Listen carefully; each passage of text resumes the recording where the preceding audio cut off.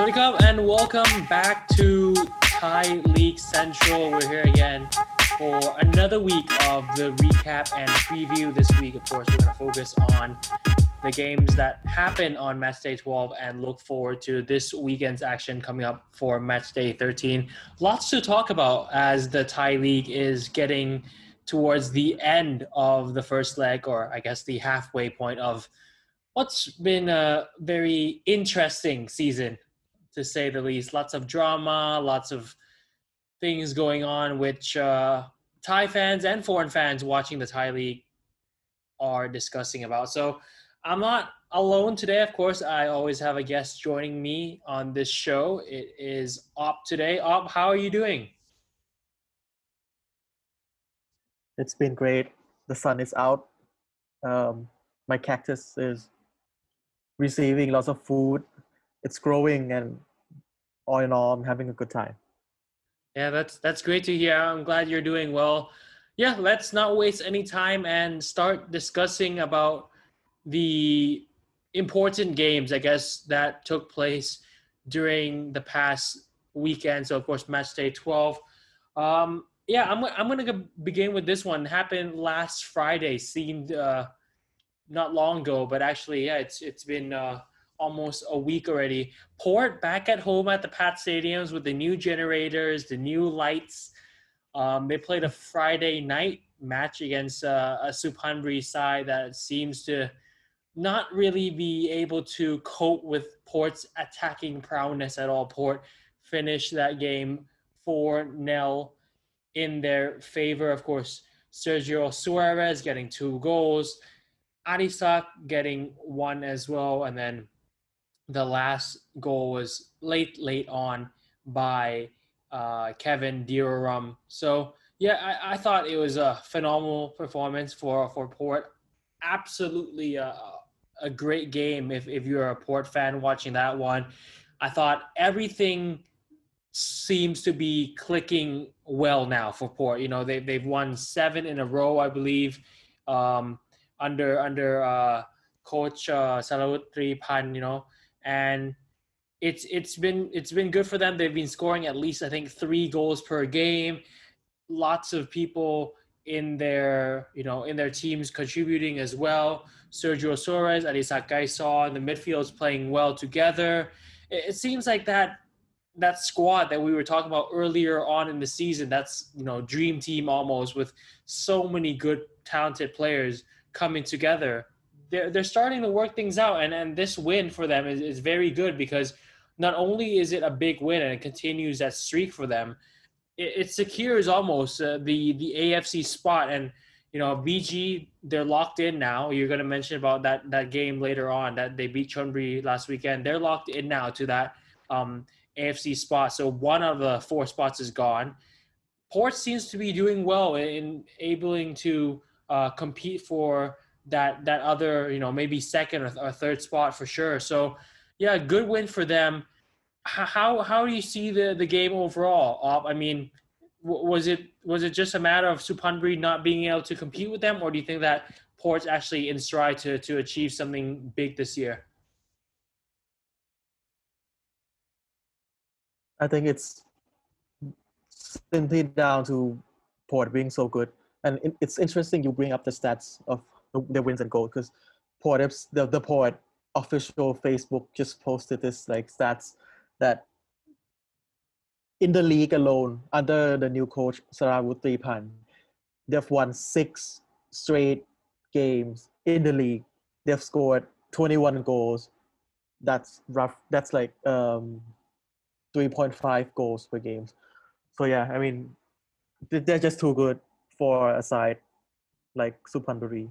Yeah. Uh, and I think I agree with you that they are they're locked in for for, for the ACL spot. Mm-hmm. Yeah, we're gonna preview their game later on as well in, in this podcast. So do stick with us for sure if, if you're interested in that. Yeah. Um basically before moving on to recapping the the the BG and Chonburi game, my, my closing thought on Port was I, I think this is a team that's coming together and playing well during the most important time of the year almost. You can argue because they they've had their struggles you know. They, they started off the the pre-covid season very well. Um i think they were ranked third at the moment i mean back then and after lockdown you know they had that struggle with the with the lights the, the performance on the pitch wasn't that good and i don't know if if if Heberty's injury might have played a positive role on on how they're playing. I mean, of of course, it's it's it's it's negative to to lose such a such a great player on your team, but the way they're playing without him, maybe it works better. I don't know. Maybe maybe it works better because. The, the, the, flow of the game, the way they're linking up play, and especially during that Suphanburi match, it was evident that hey, maybe maybe they don't need him after all. So let's see what they do going forward. And there's been rumors that they've already locked in Yannick Boli from Ratchaburi to to replace him. So yeah, we'll we'll, we'll see. Oh no, um, I think I have this like I have this feeling that Port FC is the they are at their best and they are the most charming when they are playing as a underdog. Mm-hmm. And it's difficult being an underdog when you're owned by a billionaire chairwoman and yeah. you've got like you said, an all-star team. Yeah. But I think since they've had a bad start to the season with on-field and off-field issue. Yeah. When with changes in managers, everything looks they're spiraling out of control for them, mm-hmm. and that somehow puts them into that underdog situation that, that it forces them to stick together and fight, and yeah. somehow they've turned turned this thing around. So Absolutely. That's yeah, that's a that's a great team. point there. Yeah, that's a great point. And talking about great, BG Pathum, yeah, you got you got a smile on your face off because not only have they guaranteed a spot in next year's AFC competition, they've done it in phenomenal fashion. I mean, talk about going on an unbeaten run so far this year. And and they're playing well. You know, they beat Chonburi. It was okay, it was a tight game in the end because they made it tight for themselves. You know, poor marking there to to give Boskovic that goal. But earlier on, we have to talk about General and Sumanya, the, the two goals from the Thai players. General with, I think, an amazing goal. It could have been probably goal of the week, I'd say. I mean, him and Sanrawat's volley. Sanrawat scored, of course, at Trat and, and gave BU the, their first win for for um for a court ban. But talking about this one, I thought it was a phenomenal goal from General. The way he, you know, uses his body to to almost uh, fade away from the defender, and that shot, you know, you don't see many goals going in the the, the second post from uh, from that tight of an angle with the right foot. So, yeah, it, it's great. He beats into Ishai, and it, it's it's an awesome year for BG because you look at the defense. Okay, you lose Irfan. He's coming back. He's on the road to recovery.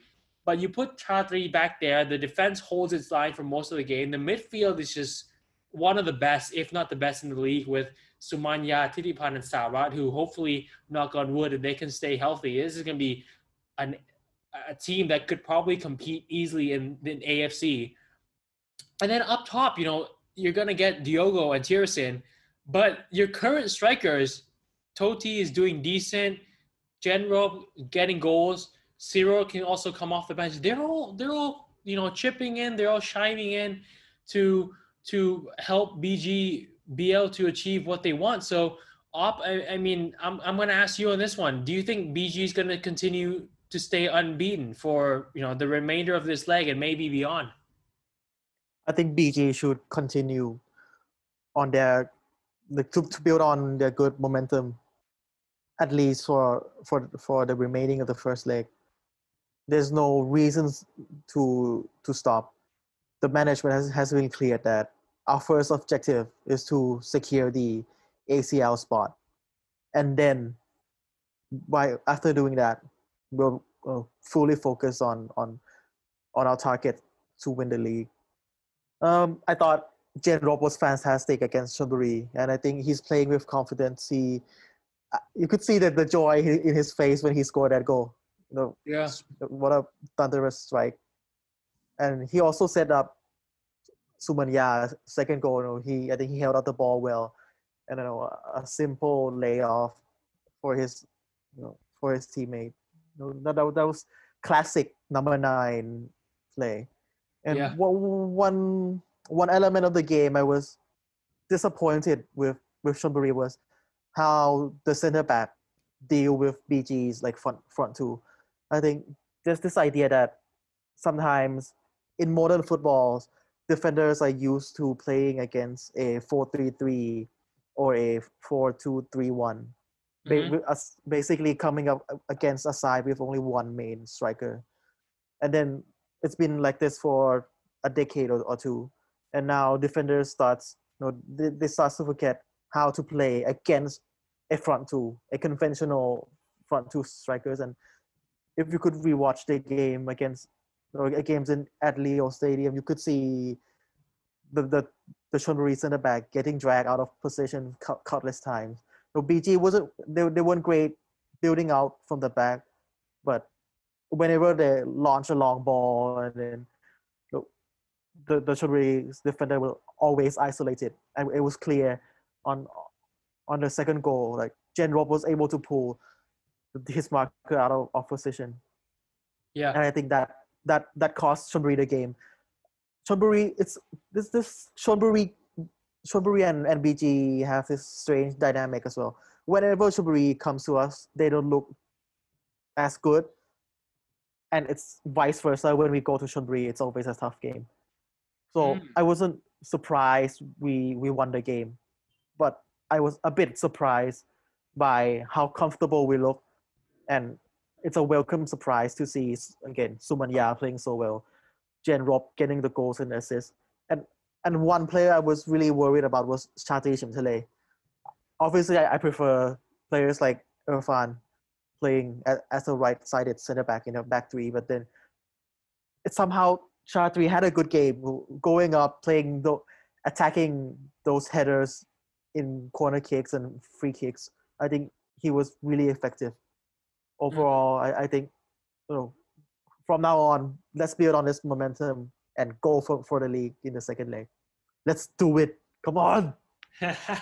yeah, love the love the joy that you're displaying there, cheering for BG, who's, uh, you know, talking about a phenomenal run. That is a team that is doing everything possible to be able to finish the season as league champions. And I mean, they are they're in route. You know, they they perform very well both home and away, still undefeated. The only team remaining that's undefeated in the league.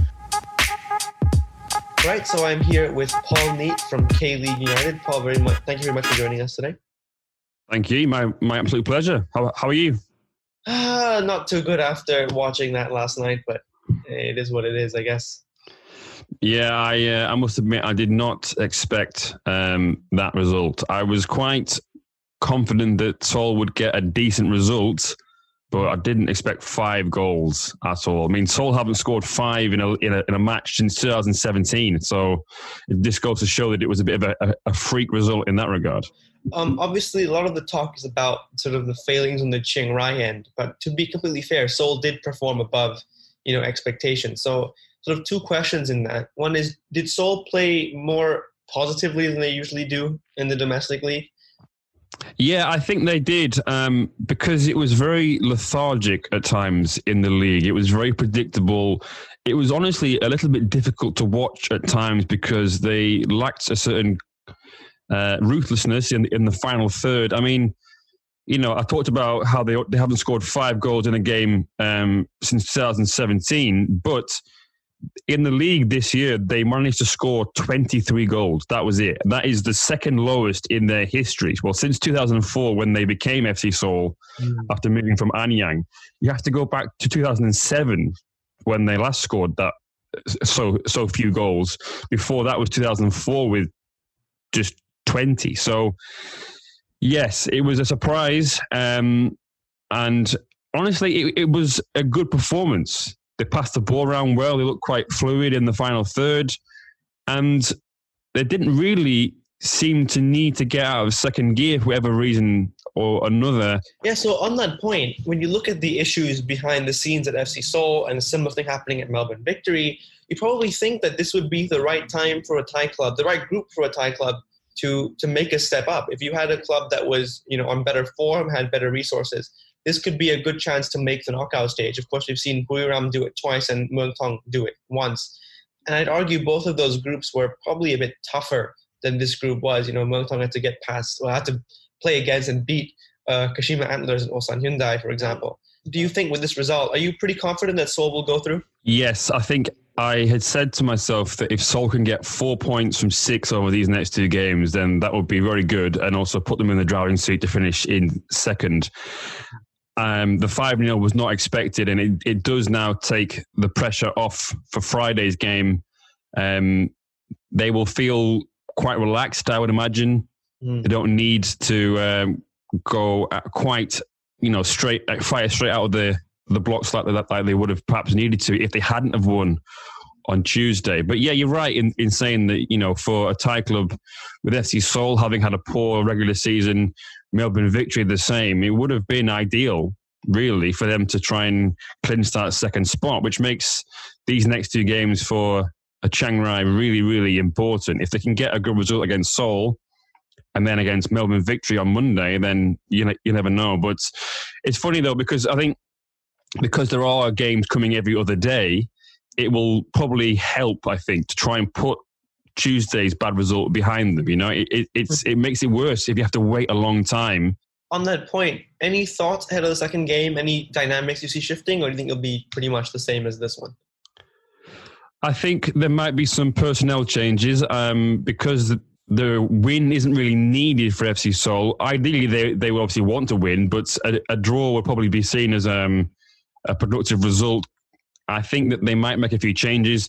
I think I read um, on AFC.com that uh, Lee Jun had made some some tweaks to the team based on fitness because obviously, like I said, there are games coming every other day. It is quite demanding physically for the players, so we, he might change things personnel wise. I would expect probably the same formation. The four one four one worked very well. Yeah. I think with Osmar sort of marshalling the back four, and then in transition you have basically those those two wide players become forwards. I think we'll see something very very similar. And it's obviously now the all these games are being played in a neutral venue, so there are no home and away games. Well, well, you know, so it, it, I don't think there'll be too much, too many tactical tweaks in that regard because it is basically, well, they're all away games really for everybody. So yeah, I think it'd be quite similar. Yeah. Uh, and a last question, and maybe it's a tough one based on last night's showing, but of course, now in the K League, there is an ASEAN quota. So, if, for example, you were the head of recruitment at FC Seoul, and well, again, last night's not the best example, but if you watched last night, watched Chiang Rai, and the director came to you and said, "Let's pick one player for our ASEAN quota," is there anybody on the pitch that stood out to you that you that you'd pick for FC Seoul? Uh, I I can't. I'm I'm going to try to say his name, but number ten, Okay, yeah. I thought I thought when he came on, he looked quite bright. And FC Seoul, they will lose Han Seung-gyu, I believe. He'll go back to Jeonbuk because he's only on, on loan. Alibaev's injured at the moment as well. So Seoul needs somebody who's a bit more attack minded in midfield or perhaps out wide. So someone like him could uh, could could could really help. And I think that kind of a position would be ideal for a team to to explore the ASEAN extra player quota. You know, someone who can sit in midfield and be, you know, if because Seoul often play with a holding midfield player, someone who's got license to go forward doesn't really have any de- defensive obligations. Then that would be good. So, um, I mean, who would you who would you re- recommend? Yeah, well, Sivakorn definitely is is my pick as well. Number ten. I mean, the, the game opened up when he came on. He's got a good understanding of space, more the other players have. I think Ekanit, I think he's number 37, would have been, if he was on form, I think you'd have seen him as a very, you know, capable player. He's only 21 as well. Uh, Sivakorn is 26, so he's, a, in terms of resale value in the future, it's a bit lower than, than the mm-hmm. Uh, and he played very well for the national team on his debut last year against the UAE. So I thought he he would be the player to step up. But it's sometimes hard, you know, to play on the stage and with people expecting you to play well. Um, and between that, I think number six as well, Phitiwat, a defensive midfielder, uh, probably the only one on the pitch I could see was willing to get into those rough. Him and uh, the young Ray, of course, willing to get into those rough tackles in the middle of the park. So it's between those three, and I think yeah, Sivakorn's as good as any as a pick to move to the K League. Yeah, well, I, I do hope that uh, some teams next season do look to the ASEAN quota because it's just such an, a, a, wasted resource. You would hope that at least one one team over this winter break will will um, be watching the Thai league that's obviously still going on. Watch the uh, Asian Champions League and, and have their scouts ready. Yeah. Uh, we all hope the same in Thailand. It's always great to see our players go abroad and do well elsewhere in Asia. So, Paul, thank you very much for joining us today. Thank you very much. Cheers. Thank you.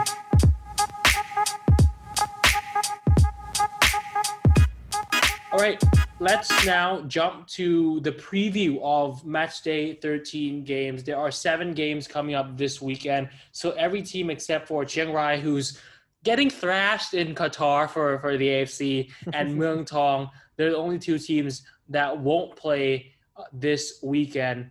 Now, we're going to start with this one. It's a 6 p.m. kickoff on Saturday. Chonburi, yes, we just talked about them. Chonburi hosting Port this game, I think, is a big one, not only for Port because they want to lock down that third spot, but also for Chonburi because Chonburi, they're back at home again. They're very strong at home. You know, talk about all the energy, all the late wins that they get there.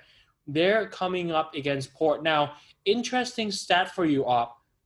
Chonburi's not been Port since 2017. So, talk about the last matchup that oh. they've been playing it's always been either a draw or a win for Port. Now, this this of course this 2020 season we've seen lots of upsets, we've seen lots of crazy results happening. But Chonburi at home, will they be able to beat an on form, on fire Port FC side? No, Port FC is too good for them. um, Kelvin Deeromram is playing well. Adisak is scoring goals. The team is gelling. I mean, uh, if there's a game, look, I, I don't, I can't see Chonburi winning this. Uh, it's just how how they're gonna stop. Chonburi is not. I don't think Chonburi is the the the most solid team defensive wise, mm-hmm. and then they're playing against a team like like Port FC. Would I mean plus Sasom Pobprasert, the Chonburi head coach, I don't think he's gonna sit back at home against Port FC. I don't think that's his style. I think Sasom when when it matters when when when the when the eye is on him, when the spotlight is on, he wants his team to fight and he's a Thai. There's, there's a reason he's a Thai Mourinho, and it's not because of but it's not because of the no the, the football i think it's it's it's that fight that yeah there's an ego and there's a pride he carries out on, on with him onto the pitch mm. so i don't think yeah i think with everything overall i think it's going to be a win for port fc and definitely a fun game lots of goals to be scored yeah, you, you you did already make the predictions. I mean, I was gonna save that for later, but I guess we can jump straight to the predictions. Um, I'm I'm agreeing with you on this one. I think it's going to be a port away when They're just too strong. They're just too right now gelling and playing well and they're so cohesive together and I I enjoy watching the the port you know version of of play during the past few months. It's it's been very pleasing to see a side attack together and and be able to uh, play such fun football. And uh, yeah, I'm that's why I'm gonna go with uh, two one Port win. I think it's gonna be it's not gonna be that close, but the final score is gonna be closer than maybe the, the game is played. So I think Port's gonna jump off to an early lead. Chonburi might, you know, get a goal back, but I think Port will take care of things in the end. So I'm gonna go two one Port. What's your score for this one? Mm three two to Port FC. All right. There's gonna be goals in this game. Yeah, uh, definitely. Yeah, there, there's gonna be goals for sure in this one.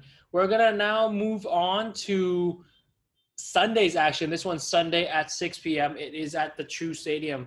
True Bangkok United back at home after getting Totchtawan Sripan's first win. They're gonna host Police Tero, who, man, okay. If you talk about Bangkok and, and, their struggles this this season, you know, we've had that you know post COVID era where they've lost four in a row. they they went away and, and drew against Korat. They came back home, lost against uh, Port, and and they finally now get that win against that. But that struggle isn't as bad as Police Tero because Police Tero, I just went back and, and saw stats and, and looked at their games that they played. Believe it or not, uh, Police Tero have not won a game in 90 minutes. Yes, in 90 minutes, they've not won a game since the restart.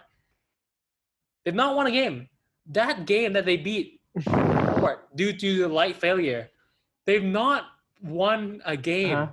at all. It's only been draws and loss. And okay, I, I get it. We were hyping them up, you know, how this this this team is doing amazing. They signed Sumare, they're gonna score goals here and there. You have you know Pon holding down the midfield, all the potential of the youth playing with the you know more experienced veteran players. But they've not performed well. They've they've lost a bunch of games. You know, mm-hmm. that 5 0 away defeat not long ago at Supanburi, that that basically killed all hopes of them going to to AFC. And how do you see this one playing out? I mean, I think True Bangkok's going to be favored for sure, right? Definitely. Uh, I watched them uh, the last time I, I watched B, BU and and Tero play. It was last year. I think it, it was in the Chang FA Cup game, if mm-hmm. I remember correctly. And Tero, they look excellent that game do you really have to to work hard but that's last year and now bangkok is under a new head coach and situations are different i don't think tero is in uh they're not in a confidence i don't think the mood within the squad is good mm-hmm. i think they've lost a bit of spark they've lost that's that that something special within them that said there will be a still I think Rangsan is good enough to get his side organized.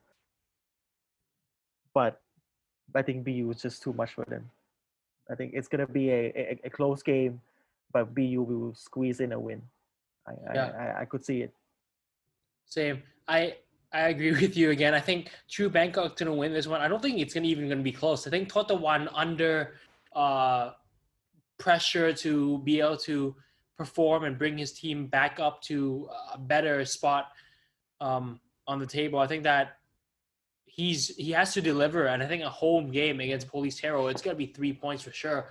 I'm gonna go three one to True Bangkok in this one. I think that Natawut, who's who's getting goals of late, he's playing well. Sanrawat seems like a a player back and forth for them and Totchtawan, he he has that football IQ. Like I said, he's one of the the brightest. He's one of the the, the smartest coaches in in Thai League. So I think he's going to deliver in this one. What what's your score prediction for for the game? Oh, mm. I think it's going to be. I'll go with three one as well. Okay. Bangkok, we concede under Totchtawan. I think he'll need he he'll need time to to to find the right balance with his tactically balanced. But mm-hmm. and I think Tero they're more well drilled. They've had more time playing under their head coach Rangsan and Chok. So I think they'll be dangerous on the break. They'll get goals. But yeah. the attacking talents of Bangkok United is, you know, far more superior. If and one interesting fact is if you look at the last eight meetings between Bangkok and Police Tero in the league, excluding excluding a home win from Tero in 2017, Bangkok has won in seven out, out of their last meetings. Yeah. So it's I think it's you you you can't say anything else except it's a it's gonna be a win for Bangkok, and I'm gonna go with three one a three one win for total one, For sure, for sure, right there. And I- I'm glad that you brought that stat up because moving on to the next game now, now this one you you did you did say you did say um like like I mentioned that there's been lots of streaks going on between matchups. The next game we're gonna preview this one 30 minutes after the the the previous one. So 6:30 Sunday evening, Buriram against Samut Prakan City. You talk about dominance. Buriram have won 10 straight games against Samut Prakan slash Pattaya, and they're back at home again. And I just, you know, I was looking up games to, to preview, and I was like, we, we got to touch on this one. I mean, it seems like Buriram are back, I guess. I mean, Gama got that big win away at Sukhothai. Mhm. While for Samut Prakan, it's it's an up and down team. They they play well one week, they look like a unit, then they you know they drop points at home, and they go away and they lose, and then they come back and win again, and then they go away and they lose. So they just lost at Ratchaburi last weekend. But man, this team, this team, they've struggled against Buriram historically, and I don't see that changing. Obb, do you see Buriram taking care of Samut Prakan at home as well? yes, it's gonna be three wins from three from Gama. Look, the last week three 0 win against Sukhothai. I think the score line is a bit misleading because I think uh-huh. Sukhothai played well. Yeah. They look dangerous, and with maybe if Ibson Melo was in the side, things would be different Mhm. for, for for the home team last week. And I know Buriram beat uh Rayong before the break. So and Rayong is oh during the international break. So it's not how do we say it's not the most exciting results and not the one not the result we should be overhyping. But look, there's Samut Prakan is not the most consistent side. They're not that convincing away from home. If you take away the the game against Muang Thong, Mhm. so I could see a, a, a Buriram win. A Buriram, and look, I was really happy when they when Buriram announced they've extended the contract of Ke- Kev, um, Kevin Ingreso. Yeah. And I thought I thought Ingreso is I think he's been playing quite well since Gama you know, s- arrived and Yeah, Yeah, he got that goal last weekend against Sukhothai as well. His left foot shot into the bottom corner. Now, Super Uh, Shy, Super Shy, Super Yes. Shy, two goals. My boy, my boy, Super I knew Shy you had to Jaided is bring it back. I knew you had to bring Yep. it up. For those who don't know, I'm, I'm I'm a big fan of Supachai Jaided. I know he doesn't score that much goal, but he's but in the last two games, two goals in two games, a header from a corner, and he, and he, if he gets another header from a corner, then I'll take it. You know, a hat trick of course. Yeah, yeah. Well, yeah, I'm gonna go with a two-one Buriram win. Um, I'm pretty confident with my picks this week. You know, I, I've picked the, um, I picked the perfect week last week. I mean, it was me against Paul. I think I got all three right, and he only got one right. So this week, I, I see you copying all my picks. You know, we're we're either gonna have them all right or all wrong, or some right and some wrong. So I'm going two now. Uh, Buriram. What are you going with? Oh, two one for to Buriram. All I right. think there's a goal in Samut Prakan. All right.